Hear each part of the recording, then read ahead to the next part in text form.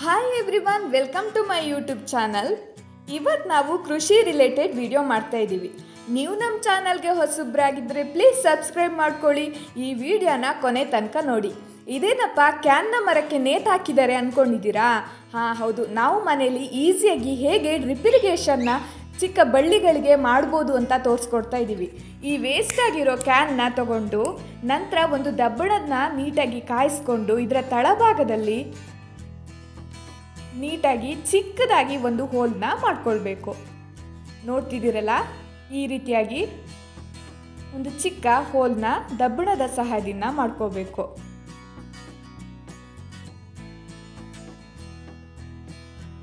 ನಂತರ ಒಂದು ಕಾಟನ್ ಬಟ್ಟೆನ ನೀಟಾಗಿ ಫೋಲ್ಡ್ ಮಾಡಿ, ಕ್ಯಾನ್ಗೆ ಮಾಡಿರುವ ಹೋಲ್ನ ಕವರ್ ಮಾಡಬೇಕು. ಅಂದರೆ ಇದರೊಳಗೆ ಸ್ವಲ್ಪ ತುಂಬಬೇಕು.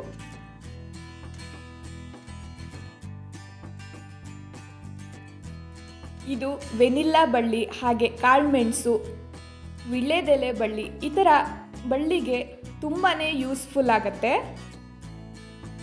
ನಂತರ ರೆಡಿ ಮಾಡಿ ಇಟ್ಕೊಂಡಿರುವ ಕ್ಯಾನ್ನ ಬಳ್ಳಿ ಹಬ್ಬಿಸ್ ಹಬ್ಬಿಸಿರುವಂಥ ಮರಕ್ಕೆ ಈ ಥರ ಟೈಟಾಗಿ ಕಟ್ಕೋಬೇಕು.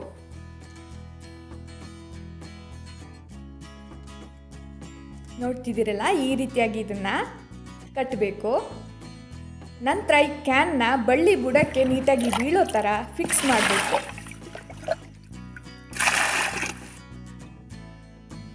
ಈ ಕ್ಯಾನ್ನ ಒಳಗೆ ನೀರನ್ನು ಪೂರ್ತಿಯಾಗಿ ತುಂಬಿಸಬೇಕು. ನಾವಿಲ್ಲಿ ಐದು ಲೀಟ್ರ್ ಕ್ಯಾನ್ ತಗೊಂಡಿರೋದ್ರಿಂದ ಇದು ಒಂದು ವಾರ ಪೂರ್ತಿಯಾಗಿ ನೀರು ಸಾಕಾಗತ್ತೆ. ಈ ಬಳ್ಳಿಯ ಬುಡಕ್ಕೆ ಒಂದೊಂದೇ ಡ್ರಾಪ್ ನೀರು ಬೀಳೋದ್ರಿಂದ ಇದು ತಂಪಾಗಿರುತ್ತೆ. ಇದು ತೇವಾಂಶದಿಂದ ಯಾವಾಗಲೂ ಇರಲಿ ಅಂತ ನಾವಿಲ್ಲಿ ಅಡಿಕೆ ಸಿಪ್ಪೆನ ಬುಡಕ್ಕೆ ಹಾಕ್ತಾ ಇದ್ದೀವಿ. ನಂತರ ಸೋಗೆನ್ ಕೂಡ ಹಾಕ್ತಿದ್ದೀವಿ. ನಾವು ನಮ್ಮ ತೋಟದಲ್ಲಿ ಈ ರೀತಿಯಾಗಿ ಕ್ಯಾನ್ನ ಬಳಸ್ಕೊಂಡು ನೀರಿನ ವ್ಯವಸ್ಥೆನ ಮಾಡ್ಕೊಂಡಿದ್ದೀವಿ. ಒಂದು ವೇಳೆ ನಿಮ್ಮ ಹತ್ರ ಕ್ಯಾನ್ ಇಲ್ಲ ಅಂದಾಗ ನೀವು ಒಂದು ಕವರ್ನ ಸಹಾಯದಿಂದ ಕೂಡ ಈ ರೀತಿಯ ವ್ಯವಸ್ಥೆನ ಮಾಡಬಹುದು. ನೋಡ್ತಿದ್ದೀರಲ್ಲ?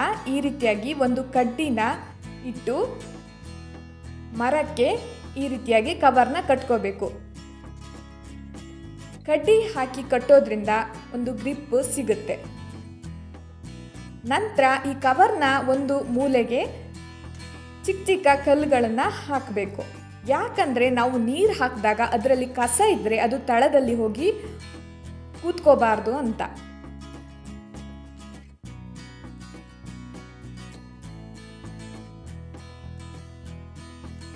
ನಂತರ ಒಂದು ಸೂಜಿ ಸಹಾಯದಿಂದ ಇದನ್ನು ಒಂದು ಹೋಲ್ ಮಾಡಬೇಕು.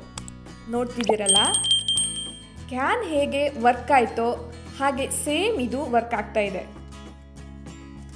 ಇದು ಚಿಕ್ಕ ಚಿಕ್ಕ ಬಳ್ಳಿಗಳಿಗೆ ತುಂಬಾ ಯೂಸ್ಫುಲ್ ಆಗುತ್ತೆ. ನೀವು ಒಮ್ಮೆ ಟ್ರೈ ಮಾಡಿ ನಿಮ್ಮ ತೋಟದಲ್ಲಿ.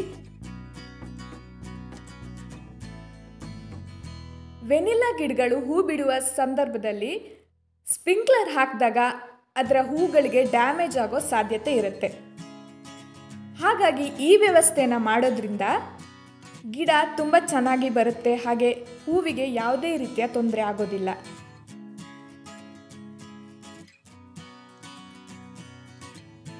ವೇಸ್ಟ್ ಆದ ಕ್ಯಾನ್ಗಳು ಹಾಗೆ ಕವರಿಂದ ನಾವು ಈ ರೀತಿಯಾಗಿ ನಮ್ಮ ತೋಟದಲ್ಲಿ ಬಳಸ್ಕೊಂಡಿದ್ದೀವಿ. Thank you for watching